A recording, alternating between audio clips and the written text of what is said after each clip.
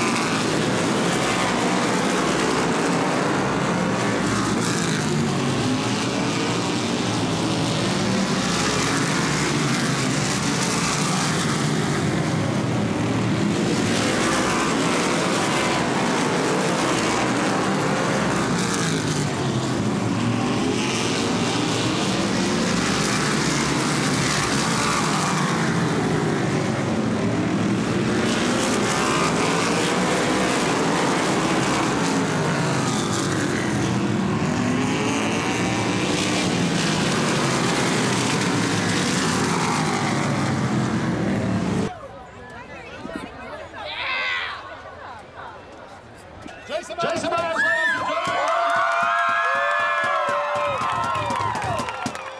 Jason, really quickly, we're trying this with my announce partner, Chris Carter. I don't know. Jason, did you have to put max effort out there tonight? Who we have tonight? I did. You always put max effort. You get beat when you're sleeping. Yeah, I mean, I knew I had a better car once we got going, and my spotter said, You're pulling away, you're pulling away. And man, you still can't back it down. You never know. You know, you catch lap traffic. Lap traffic was a handful tonight. So you got to get out as far enough away as you can, you know. What happened in that st- the, the aborted start there? I'm not sure. I got ready to go, and the next thing I know, Holloman's monster truck in the side. Holloman must have thought because it was monster truck night that he could monster truck me on the start. I really don't know. I think it just got away from him and we got tangled. But they never threw the green, so they went back to the initial start. How special is it to be up there in victory lane with your dad? You have no idea, man. This this one sinks in because I had time to think about it to start with.